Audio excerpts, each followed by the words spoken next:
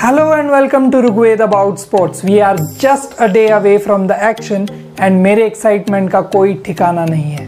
So the Indian contingent की first batch 17 को Tokyo पहुँच चुकी है और वहाँ से उनके सोशल मीडिया पर ओलंपिक स्टेडियम और विलेज के काफ़ी फ़ोटोज़ और वीडियोस देखने को मिल रहे हैं. सो so, आज हम करेंगे ओलंपिक विलेज का एक टूर और देखेंगे जापान ने ओलंपिक के लिए किस तरह अरेंजमेंट्स किए हैं specially with all the Covid restrictions before that अगर आपने अभी तक इस चैनल को सब्सक्राइब नहीं किया है तो जल्द से जल्द इस चैनल को सब्सक्राइब कीजिए। कीप वॉचिंग सो विलेज में ये रूम्स है और ये इको फ्रेंडली बेड्स बनाए गए हैं आउट ऑफ़ कार्डबोर्ड पहले सोशल मीडिया पर ऐसी खबर थी कि ये एंटी सेक्स बेड है बट बैडमिंटन के डबल्स प्लेयर चिराग ने इस गलत फेमी को कुछ इस तरह से दूर किया। सो so, विलेज के गैलरी व्यू के बारे में देखें तो यहाँ 18,000 एथलीट्स ऑफिशियल्स की अरेंजमेंट की कैपेसिटी है। यहाँ टोटल 21 बिल्डिंग्स है जो 14 से 18 फ्लोर तक के हैं।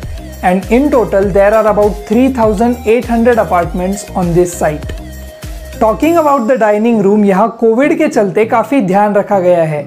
मेन डाइनिंग हॉल में लगभग 3000 सीट्स है और यहाँ total 45,000 meals per day serve करने की कैपेसिटी रखी गई है। मेन हॉल में 700 मील ऑप्शंस होंगे from different diets to food preferences यहाँ सैनिटाइजेशन का काफ़ी ध्यान रखा जाएगा और प्लेयर्स के बीच एक प्लेक्सी ग्लास बैरियर्स रखे गए हैं।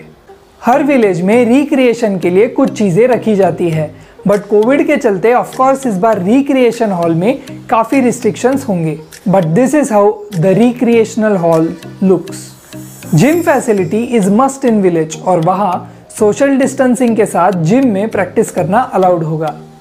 इस बार का ओलंपिक्स पॉल्यूशन फ्री करने के लिए ट्रैवलिंग में हाइड्रोजन से चलने वाले बसेस होंगे और इलेक्ट्रिक कार्स यूज़ किए जाएँगे। और लास्ट में ये रहे हमारे जाबाज खिलाड़ी प्रैक्टिस करते हुए।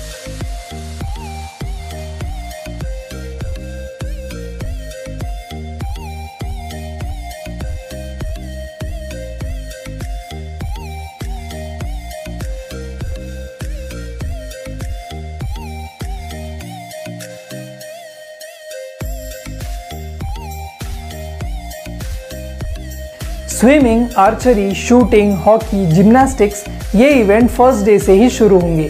So at last the Olympics is here कल ही जापान के ऑर्गेनाइजेशन कमेटी ने बताया कि कोविड के केसेस अगर बढ़ते रहे तो ओलंपिक को इलेवेंथ आर को भी सस्पेंड करने के चांसेस है।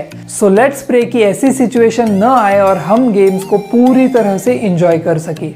Enjoy the opening ceremony tomorrow at 4.30 pm. So this is all from this video. Hope you enjoyed it. See you soon with some good news from the Indian team.